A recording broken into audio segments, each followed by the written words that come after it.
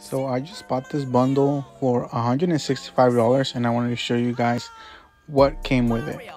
So first was this Nintendo 3DS, but it came in a white box. I don't know what that means. If anyone in the comments know, that would be great. It came with the manuals and you know the charging cable, the cradle, and this flame red 3DS, but it has like sticker residues. But yeah, and also came with a game and it's Pokemon White. MySims Agents, which didn't have a game. Mario vs. Donkey Kong Miniland Mayhem, which did have a game, I checked. Steel Diver, Pilot Wing Resort, Animal Crossing New Leaf, New Super Mario Brothers 1 and 2, Mario 3D Land, and Mario Kart 7, which you know are must haves for the 3DS.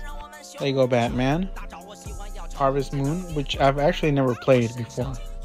A black case with Nintendogs.